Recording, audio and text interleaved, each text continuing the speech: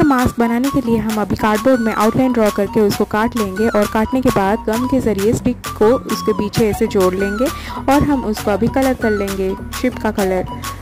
फिर देखिए हमारा शेप अभी उसके ऊपर हम कॉटन एंड फेविकल के ज़रिए उसको चिपका देंगे